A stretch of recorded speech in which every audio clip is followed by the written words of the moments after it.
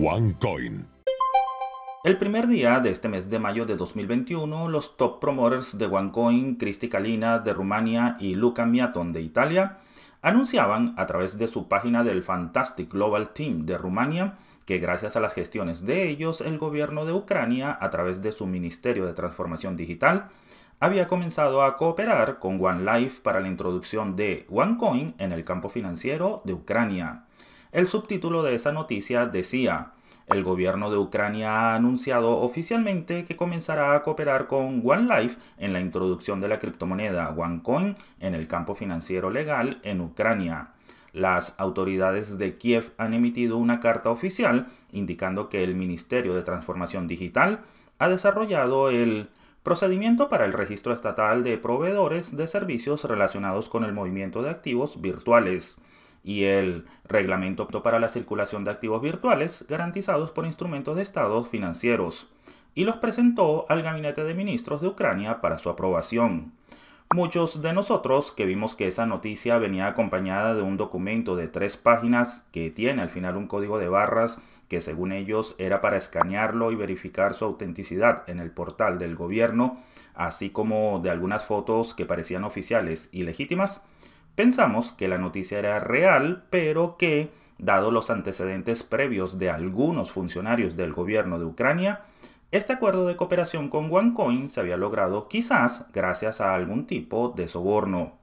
Hoy, y a menos de un mes de publicada esa noticia, el gobierno de Ucrania niega oficialmente cualquier forma de cooperación con OneCoin.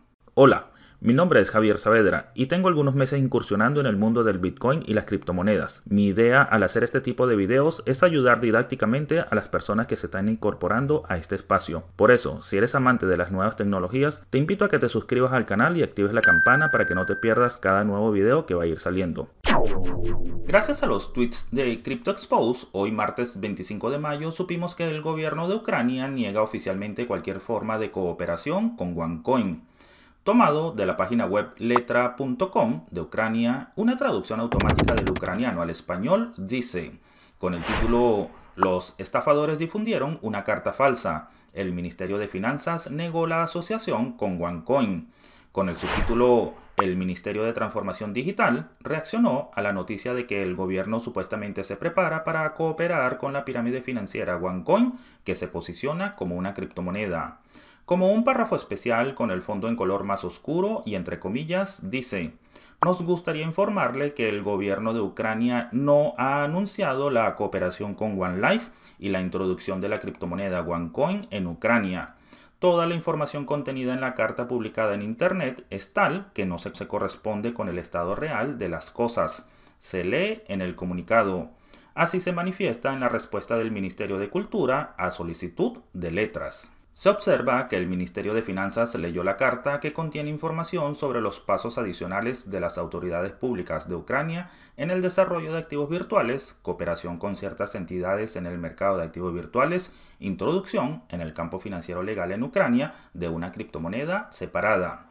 Como otro párrafo especial con el fondo en color más oscuro y entre comillas dice el comunicado relevante sobre la difusión de información falsa en la red ya ha sido enviado a los organismos encargados de hacer cumplir la ley, agregó el Ministerio de Finanzas.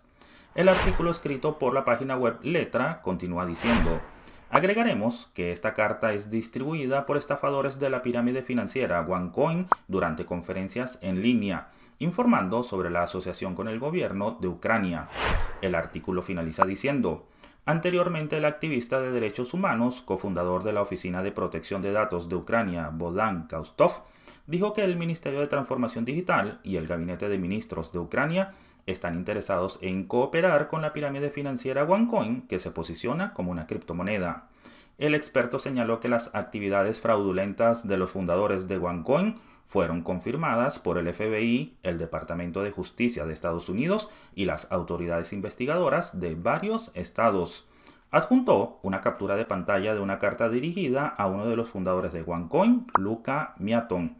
El documento, supuestamente firmado por el primer viceministro de Transformación Digital, Oleksiy Biskup, indicaba que el Ministerio de Finanzas estaba considerando otorgar a la empresa el estatus de proveedor oficial de servicios de activos virtuales. Este artículo de letra no lo menciona, pero en este punto de la investigación, una de las posibles teorías es que este documento de OneCoin fue presentado al primer viceministro de Transformación Digital del Ministerio de Finanzas de Ucrania en un lote de documentos que requerían su firma, y él, en forma confiada y desprevenida, firmó todos los documentos del lote, incluido el de OneCoin, sin prestar atención individual a cada documento que estaba firmando. La investigación de cómo apareció la firma de este funcionario del gobierno en este documento fraudulento sigue en curso con el aviso de que ya han sido notificados los organismos encargados de hacer cumplir la ley. OneCoin. Me gustaría leer sus comentarios y opiniones. Como siempre les he dicho, lo mejor que usted puede hacer ahora es aprender, sí, educarse en el tema del Bitcoin y las criptomonedas. Si te gustó el video de hoy, recuerda suscribirte al canal, darle a la campanita para que sepas cuándo sale el próximo video, regalarme un like o me gusta como apoyo al canal y compartir este video con algún amigo o familiar. Así que nos vemos en el próximo video.